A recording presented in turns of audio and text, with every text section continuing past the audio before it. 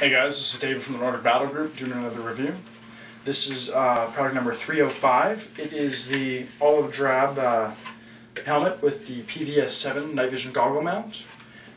Notice at the inside, the entirety of the foam has uh, sticky pieces of Velcro so you can adjust it as you see fit. So it can fit a wide variety of you know head shapes. The outer texture is similar to an eggshell with dimples throughout.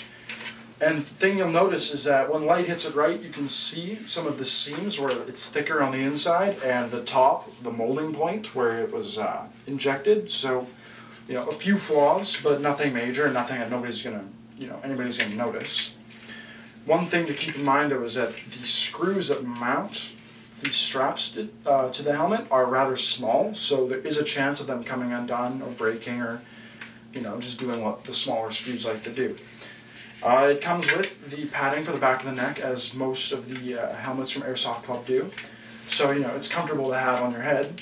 And when it goes on, it leaves ears completely open, so if you want to put a uh, headset on, or, you know, one of the lower face masks that covers your ears as well, you're able to.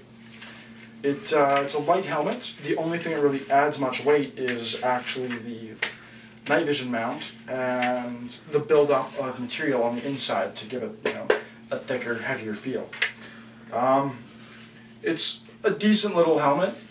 There's, you know, better options, but for a clone helmet of, you know, the uh, skate type ones, it's, you know, fairly decent. Um, you can pick it up at Airsoft Club, item number 305.